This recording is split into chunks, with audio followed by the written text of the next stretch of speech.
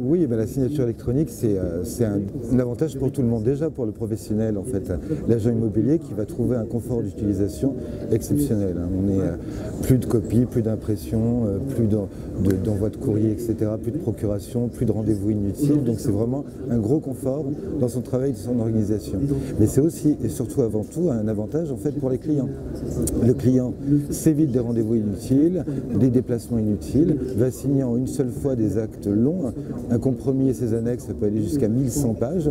Il le signera en une seule fois, il le recevra dans sa boîte mail, il l'imprimera ou le stockera, il n'y aura plus de problème.